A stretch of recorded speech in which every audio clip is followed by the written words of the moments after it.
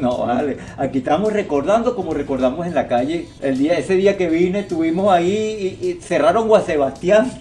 Sí. Tuvimos que decir, mira, vale, vámonos para acá, que para su casa. Yo, dije que yo me voy temprano hoy.